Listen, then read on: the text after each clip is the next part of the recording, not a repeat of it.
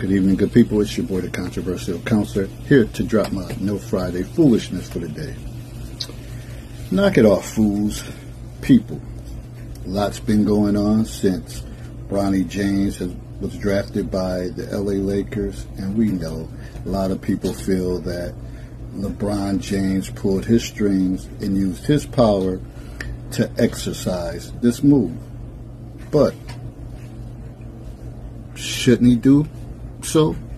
Isn't that the object of a parent to, if you're in a position of power and, of, and influence, to be able to use that to help your kids fulfill their dreams and their goals?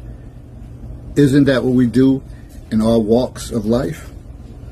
So why is it, you know, nepotism, those words are being thrown out there now?